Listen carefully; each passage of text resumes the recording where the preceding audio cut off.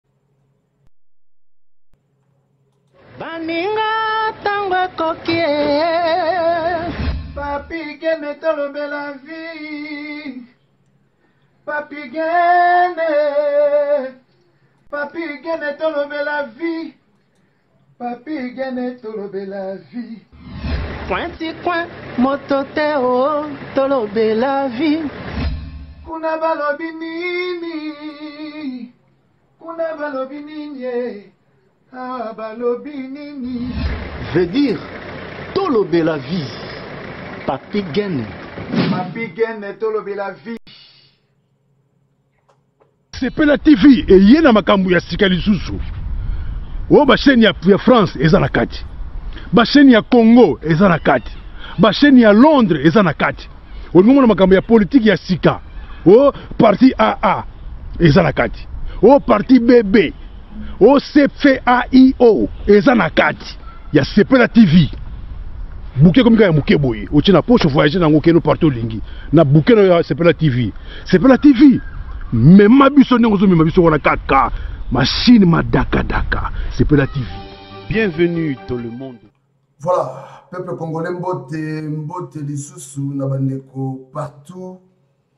na monde entier oyo bolandaka biso à travers tolobela vie officielle.com merci na fidélité na bino bolingo bozalaka nango nazoloba chaque fois eloko moko eleki bolingo ya mboka eza te na miniti oyo boye yo ozolanda nga na ngai soki tosangani kongo ekokende liboso Merci na equipe oyo batendaka biso chaque fois compagnie. 4 fois prêtre l'honorable Washington de grand pays na Munich. Moto mosusu akoloba mpo mona biso boye en tout cas eza na bato oyo basalaka ke tobima chimanok eric pdg authentique merci na notre réalisateur steve euh, malongweni bana kongo boyebi nde nalobaki eza na eloko moko te moko te oyo eleki bolingo ya congo nazoloba yango chaque fois bagénération eza kobima kobima na sens que c'est-à-dire carrière ekomi kosila carrière parce que carrière ya moto esilaka bato baza na baafrique du sud bazambie bamozambique bafrance partout na mokili bakongole bazali na baustralie bakongole bazali génération na biso oyo soki lelo esili partout bato baza bazobota bana mais so génération lelo esili toza lisu te banani oyo bakolibere mboka il est grand temps yo ozolanda ngai na ngai tosangana tolibere mboka na biso na ndenge ya solo nazosolola lisusu lelo na bishop elise boyebi azali sentinelle ya mboka congo esengaki tobetama masolo lisusu na bishop bishop elise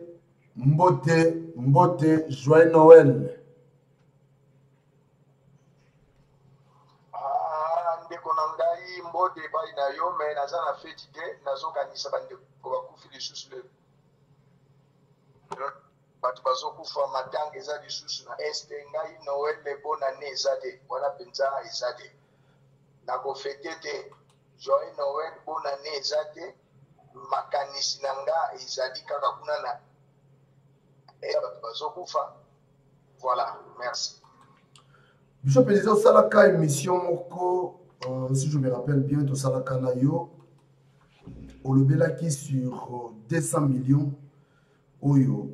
makambo oyo lelo oyo ezolobama 200 millions yo obetaki yango déjà avant mais bato mosusu beta mosusu bazwaka makambo na yo ta mosusu likolo likolo mais lelo oyo je crois bato ebele bamoni makambo olobaki ya 200 millions wana alors ebimi na mpwasa nayebi te okoloba nini na lisolo wana mpona tokende mpena na masolo na biso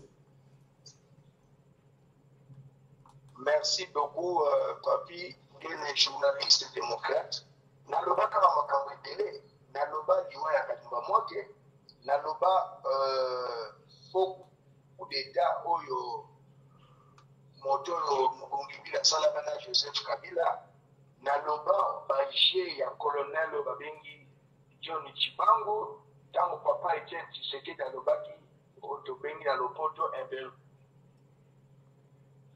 Briodi John Chibangu asala makambo ya lokuta, bato balanda ye,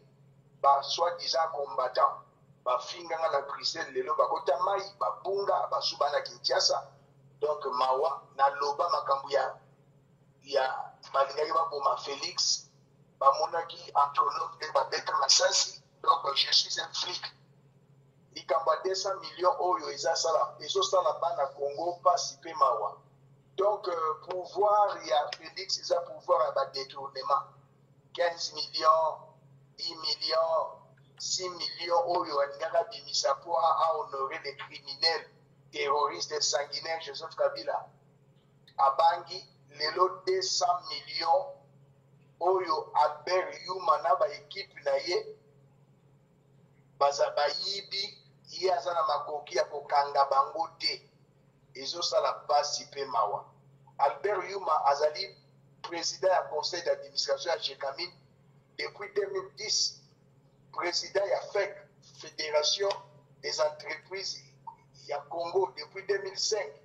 kaka albert yuma wana azali lisusu pc ya président ya conseil d'administration ya texico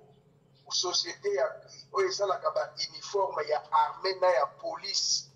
société wana ezali ya joseph kabila est ce que moto lokola albert yuma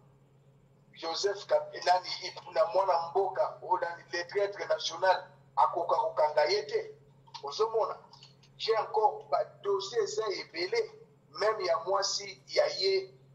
uh, félix na kamere toza na, na dossier mosusu ya 170 millions bango balie donc toloba yo toloba te ozomona bato mosusu bakomi na réseau sociaux albert yuma azolala na kingakati lokuta baza na kinshasa bafandi la police et l'armée contrôlée par joseph kabila les cours et tribunaux contrôlés par joseph kabila ceni controle par joseph kabila soda nino euh, nani félix akotinda akende akanga albert yuma na ekipe na ye bato wana bazali te ezosala mpasi mpe mawa albert yuma azali moyibi monene naza na dossier mosusu ya 5 milliards de dollars tolongwe na bamillion nakoloba yango na prochaine émission oyo albert yuma janet alias kabila na zoe alias kabila bayibi 5 milliards de dollars donc félix azali na ye kaka etikete na mboka congo bazali kosakana na ye kosakana soki aza mobali tozolinga akangela biso albert yuma na ekipe na ye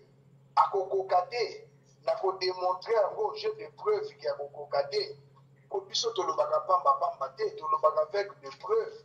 bapreuve naza na yango awa hmm? na kolakisa na bana congo po soki nalobi o oh, alobi naza molobeli ya mboka esengeli naloba ya liboso Et bato bana Congo esengeli bayeba ke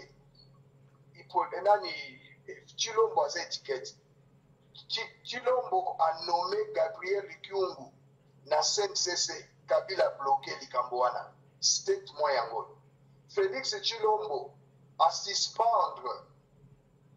via son ministre des Affaires étrangères, l'ambassadeur de la RDC na ONU. FCC et s'opposer interpellé na Sénat Francine Muyumba. Le ministre affaires ministre ya affaires foncières aza ya INC ya INC a réhabilité Gabriel Mokia na likambo ya ndako. Ministre ya justice PPRD a s'opposer au profit de Ngoy Kassage. Félix Tshilombo a suspendre installation ya Sénat FCC alobi aza, aza, aza kosakana na moto suspension wana ekenda kaka boye alors na congo oyo azali tribaliste te oyo azali fanatique te azo comprendre que congo eza dirigé par alliance joseph kabila donc euh, pouvoir ya félix eza pouvoir ya bamiyibi baye na bango mpo na koyiba 15 million ekenda kaka boye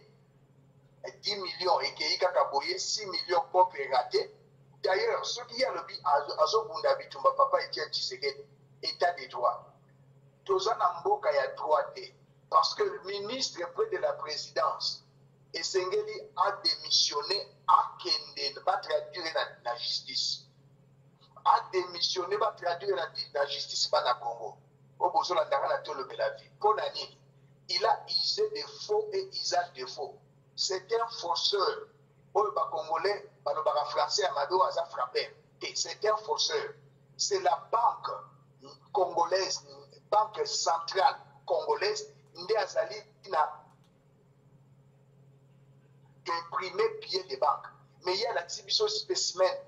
specimen elingi oloba modèle elingi oloba échantillon ya billet sans consulter la banque centrale congolaise wana ezali frappe na, na français ya, ya, ya, ya, ya solo nga natanga balobi faux et usage de faux donc c'est un forceur azwi baninga na ye bafrappeur mwasi na ye frappeur bacolaborateur bato nyonso basala bango bafrappe na poto atie bango tout autour na ye bakomi kofrappe congo 200 millions de dollars soki oza mobali akanga ye ya berluma merci euh, mela bishop sikoyo euh, ndenge olobi wana affaire 200 millions wana mais lobi est ce que tokomona mpe euh, albert yuma est ce que bakotraduire ye mpe na justice est ce que akoleka mpe na justice ase justifie parce que makambo yango ezalaka boye lelo moko mpe boye ti omona mpe nie eleki nango est ce que albert yuma lobi tokomona ye mpe na justice mpo ase justifie makambo oyo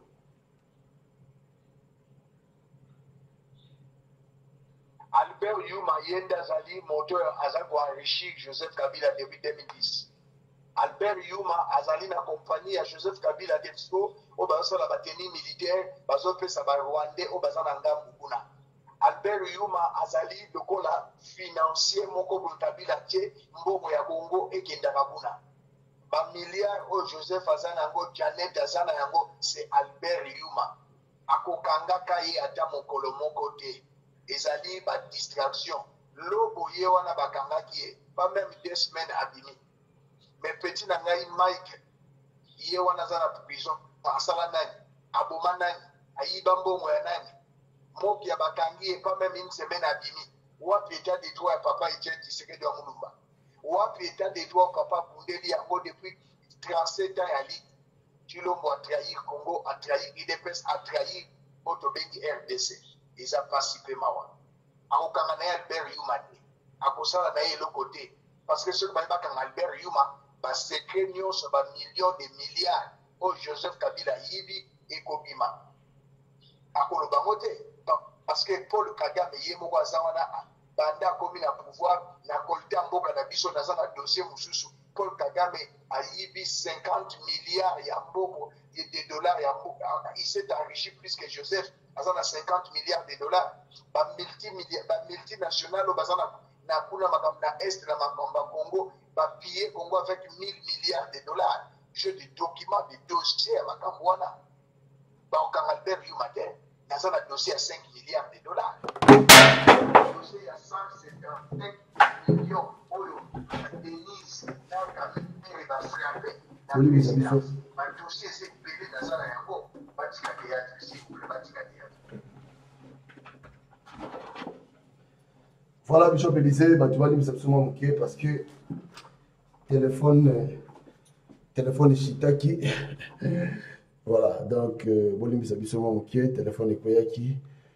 Voilà. Euh, toza toujours na Bishop Elysée. Allô Bishop. Oui, ndala soka yo. Voilà. Non non toza na yo, toza na parce que téléphone et ishita qui vite fait bon. To continuer, yo lobi ozalaka sentinelle ya mboka et puis ozali na na euh, na ba révélation ba détournement misusu oyo euti kosalama nayebi te soki oyebi mpe kofungola bana congo etant sentinelle ba détournement mosusu oyo oyebi ya grave naza na détournement naza na dossier ya détournement ya denise mwasi ya, ya félix na kamere plus de 170 millions de dollars naza na dossier ya détournement ya eu albert yuma alias janet kabila na zoe kabila ya 5 milliards de dollars nakoloba ngo na prochaine émission mpo na liversion ba émission ba deux heures du temps ba une heure du temps te donc nakoloba ngo na prochaine émission nalobaki likambo ba deux cent millions bango moko babimisi yango esi napesi bato na kisasa badossier wana bakobimisa yango après ngai nakoloba tochange système naza na dossier natindeli bato na kinshasa bango babimisi yango après ngai nalobi donc plus de 150 millions de dollars mwasi ya félix na, na, na oyo kamere bayibi cela veut dire soki mwasi no ayibi seke yo mpe oyebi yo mpe oza moyibi alors naza na dossier ya 5 milliard balongwe na bamilio bakomi ya bamilliard oyo yu albert yuma alias janet kabila alias euh, zoe kabila 5 milliard de dollars bayibi naza na badossier wana natindeli bato ya kisasa bakobimisa yango na bajournaux après ngai na popoli donc euh, aza na aza na pouvoir ya moyibi eza eza pouvoir ya ya muyi ya muyibi bazo yiba mba na Congo hein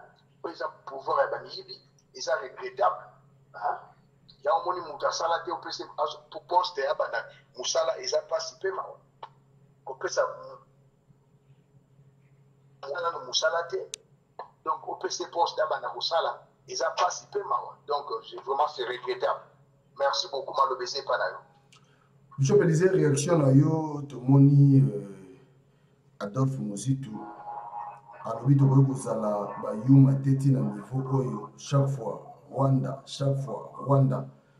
Adolphe Muzitu atelemeli makambo oyo alobi bon dans ce cas parce que soki otali mpe bien Zakaï Barabasi mpe alobaka makambo na parlement lelo Adolphe Muzitu alobi mpenaki non il serait mieux tosala guerre mbala moko to lancer guerre mena na bango nde bayeba mena ke sikoyo tozala na guerre na bango nayebi te réaction na yo par rapport ya maloba adolphe muzitu mais na, avant na répondre eh, nakoyebisa bana congo balongwa na kati na bemotion nakoyebisa bana congo bazala banaïf te eloko adolphe muzitu asali eloko ne mwana nsemi ayaki na yango afingi kabila bato balandi ne mwana nsemi bakangi ne mwana nsemi mwana akoti na prison masolo esila ezalaki piège basalaki opposition mpo ba opposant balanda ne mwana nsemi eloko moko yango oyo barwandais basali lisusu croyant que ba opposant bakolanda musitu nalobaka na émission epa na yo adolphe musitu c'était pion de joseph kabila na nalamuka nakochange te naza na bapreuve lokola kamere azalaki pion ti lelo azali pion ya ba rwandais na opposition lelo baza idps bakoma kofinga kamere carrière politique ya kamere ekufi akanisaki moyibi akoyiba mikolo nyonso jamais le mensonge a des jambes courtes le mensonge de produits de fleurs mais pas de fruits donc kamere euh, baza idps na bacongolais bacomprendre ndenge atie euh, félix cilombo na libulu nakoyebisa bana congo boye un homme politique un homme matir quand il fait une déclaration cela veut dire ayebi likambo nini azoloba oyo eza déclaration ya oyo nakobenga yango na lopoto ya un insensé nazo nazo loba j'assume maloba na nga Adolphe Muzitu azalaki premier ministre ya RDC na le 10 octobre 2008 aussi mars 2012 3 ans 4 mois et 25 jours mpo na nini adeklaraki guerre te ntango ye azalaka premier ministre contre le Rwanda. Ye Adolphe Muzitu, il a trahi la RDC na kolakisa ba peuple congolais. Andimaki ye premier ministre le 29 janvier 2009 ba rebelle ya CNDP milice rwandais bakota officiellement na armée congolaise Mixage Priasage esalama le 29 janvier 2009 au camp militaire Rumangabo à une cinquantaine de kilomètres na nord, na nord ya Goma. Ye andima ba rebelle, andima ba, ba, ba Rwandais oyo batake Congo bakota na armée congolaise CNDP. mokonzi ya cndp nani ayebi ayebi ete kunda batware félix tshilombo ayebi aza na rwanda et le chef ya état major ya cndp bosco tanganda ye wana condamné na prison une armée oyo armée na biso basala yango brassage na barebele na barwandais bakoti na armée na biso alobi armée e attaqué rwanda quelle armée commandement ya armée na biso congolaise balogistique na yango naza afrique eza na maboko ya barwandais quelle armée qui parle c'est un espion ya na kati na mboto obengi euh, na kati na la kondima motu lokola euh, moto babengi adolphe muzitu azala membre ya lamuka to congolais nyonso aso azali ata lelo mende soki abimi kaka boye alobi fo kabila akufa akomi lebe opposant lelo zakari wana azoloba bilobela lobela ezaka bato bazondima zakari baba baso donc mokili yango ekomi nango kaka ndenge wana mais ntango alobi makambo ya guerre wana ke guerre nalobi ntango alobi ke guerre fo ezonga na rwanda mabe nde eza place nini me mabe ezali ye moto akotisa basolda rwandais na arme na biso me nazoloba ozoyoka ngai bana kongo bazoyoka ngai zela nasilisa na 2000 na le 29 janvier 2009 les rebelles ya cndp oyo babundisi congo baviole babomi bayibi ba Ba rebelles rwandais bakota na armee congolaise le 29 janvier 2009. Esalamaka na camp militaire Rumangabo na une cinquantaine de kilomètres na, na Goma. Basoda ba rwandais bakota na armee na biso. CNDP yango ekoma lelo M23. Alors, yo azoloba makambo est-ce que azo réfléchir avec quelle armée oyo bakokende kobundisa rwanda parce que na armée congolaise commandement ya armée congolaise logistique ya armée congolaise bato bayebi makambo ya armée bayebi makambo nazoloba bayebi yango eza na maboko ba rwandais ka ya kitona oyo azodirige ka kitona aza na rwandais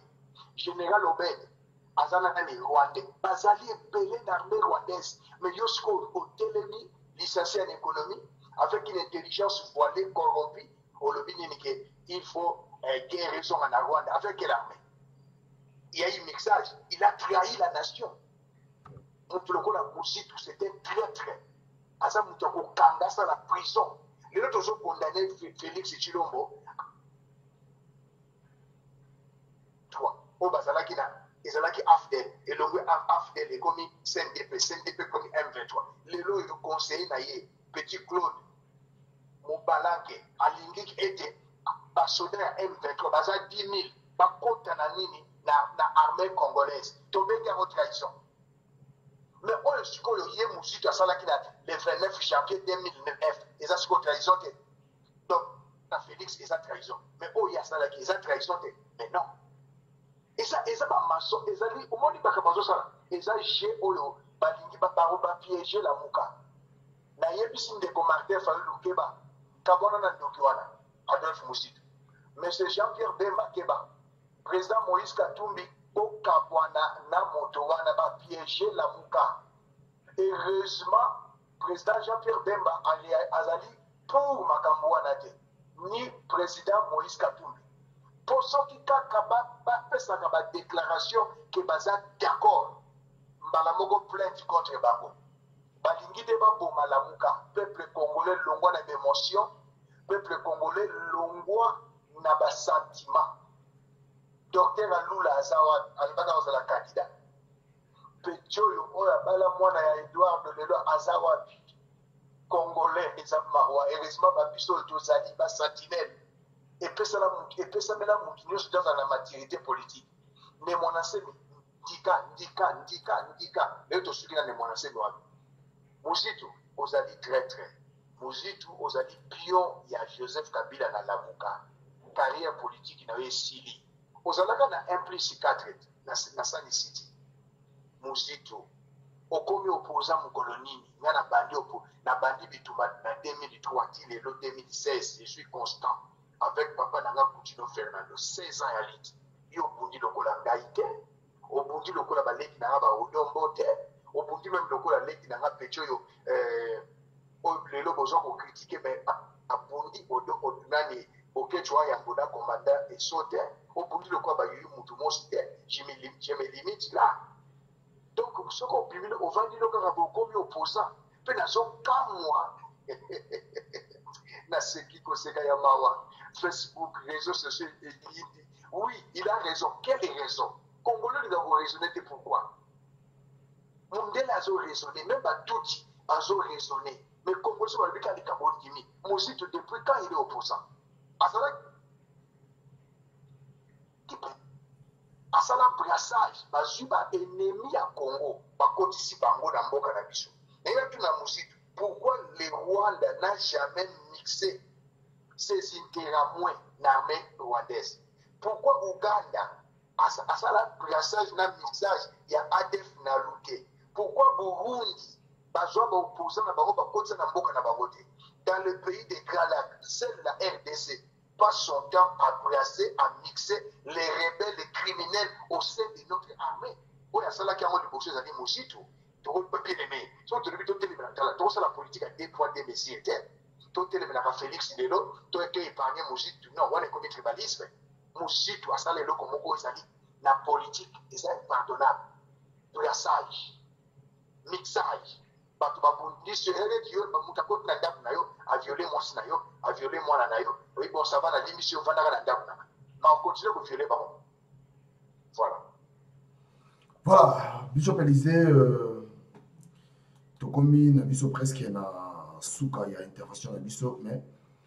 Avant tosilisa, liloba ya suka eza nini oyo koyebisa peuple congolais oyo balandaka yo, oyo balingaka mingi mingi koyoka Bishop Elisee na bango molobeli pe sentinelle ya mboka? Yambo na koyebisa bana Congo boye, Muzito aza traitre. Qui vivra verra. Tango mwana mboka membre ya udps abandaki koloba ke euh, dauphin ya, ya kabila aza na opposition bato batiaka tembe lelo bakanga monoko le nom encore méchape nani comment il s'appelle encore mubake mubake alobi non wana toza na baélection te bacampagne kutu alobi otala oh, dauphin ya kabila aza na opposition batiaki tembe yo ye wana félix nga mpe nazoyebisa bandeko alamuka nayebisi bana congo vie ya nemwa na nsemi yango nde bazosala bino na adelphe mositu heureusement jean pierre bemba aza na kati kuna te mwana mboka moïse katumbi chapo aza na kati kuna te e nakokebisa félix chilombo okoki jamais kosala oyo mozito asalaka le 10 janvier 2009 ozwa ba rebelle ba criminel rwandais ye M23 balongoli CNDP bachange na M kombo ya M23 ozwa bango okotisa bango na politique okotisa bango na armée congolaise non toboyi yango petit claude mubalanke conseiller ya joseph kabila ya, ya, ya félix chilombo olobi wana eza baaccord ya 10 ans mpe bato eye toboyi baaccord wana tolingi yango te claude mubalaki ekeba naza na badossier na yo ebele olinga te nafongola yango naza na badossier na yo na alias janete kabila naza na badossier na yo ebele claude keba nazali sentinelle félix okoki jamais kondima basoldat ya m23 barwandais tuti plainte oyo basali contre yo ya bacrime de guerre yo olobaki non leve ya mandat d'arrêt contre bacriminel rwandais ya m23 mpe intégration na bango na armée congolaise toboyi yango oyo muzito asalaki le 29 janvier 2009 eloko kongola alingi Ko fouiner te. Congolais alingi koyeba passe na ye te. N'importe qui devient opposant. Muzitu c'est un traitre. Nalobaki yango na emission epa na yo. Neti bapesi ye coordination ya Lamuka, akosala ba betises. Abandi yango yango wana. Alingi asimbi asimbisa bandeko na ye ya Lamuka touche ekosimbaka te. Felix Jean-Pierre Bemba mwana mboka azali très prudent president ya, ya parti politique oyo asali sika moïse katumbi chapwe ensemble pour la république azali très prudent ndeko martin fayulu keba kolanda moto ya bandundu te abanda na seine city na implice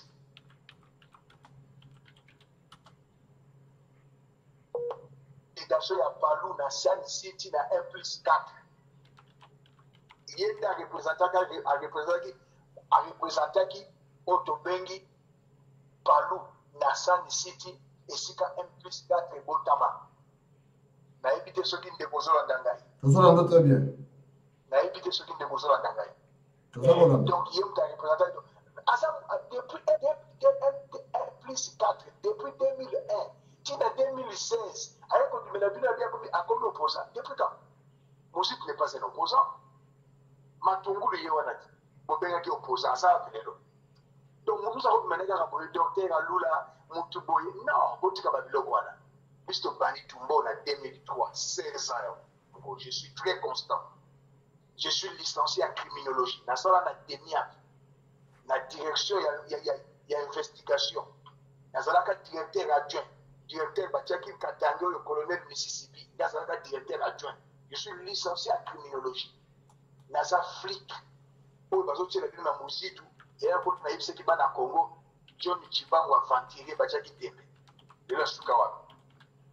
donc bana congo bolamuka bondimaka n'importe qui te nazali insensible na bainsulte na bino oyo bakofinga bafinga okosalelaki mpangi salelaki mpangi oza naïf je m'en fou mais nazosenga na bacongolais tozala toboma coalition ya fcccash congolais azolala nzala mais lelo tomoni ba image mobutu asala yango te meme petit polite quand même basala yango te laura désir kabila asala yango te papa na biso nani euh, lumbo kasavubu asala yango te tomoni lelo euh, frera mwasi oyo forcer oyo asala ba shekula na londres nani denise mwasi ya félix na mwasi ya dirka molaso oyo basalela salela baye utiliza utiliza amida bakoti na supermarché tala oyebi babiloko mosusu eteka na congo ezopesa kanda amida akoti na supermarché bango na denise bazosomba biloko bafonctionnaire bafuti bango te baenseignant ba, ba, ba bafuti bango te basoldat bafuti bango te peuple na nzala bango mibale bakoti na kitunga bazosomba babiloko vous trouvez ça normal Felix, ozo trouver ça normal. Moi, je n'ai ça là d'achat, shopping, sans qu'il va filmer à côté. Ta mère a comme sakana na le kola moi na mité. Tolobaki banda Congo et banda Congo. Président Kinois Zate, Nzoka de Kinois Azali Ngoto Bobo, Yuma, Embusu, Ezate yo Félix.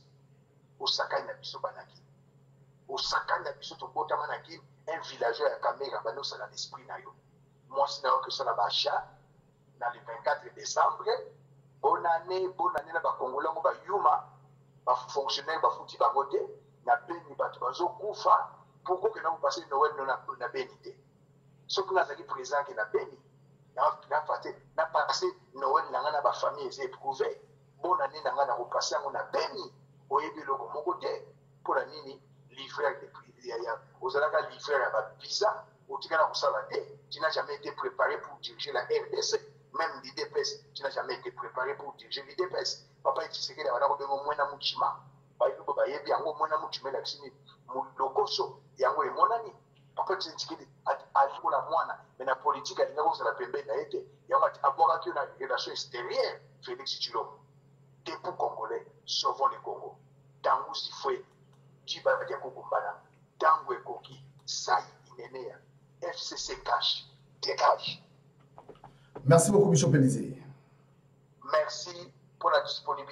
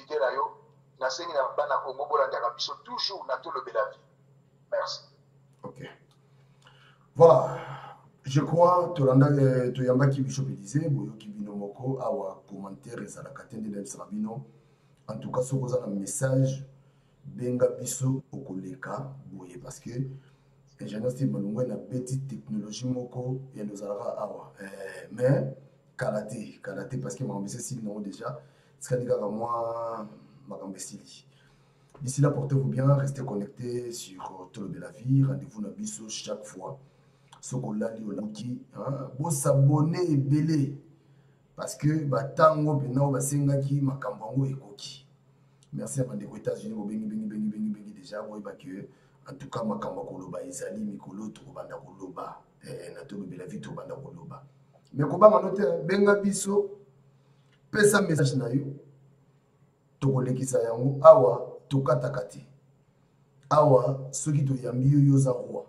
yango mwana so toyambi bato okoloba biso tofandi calme donc benga biso tosala rendez-vous tokutani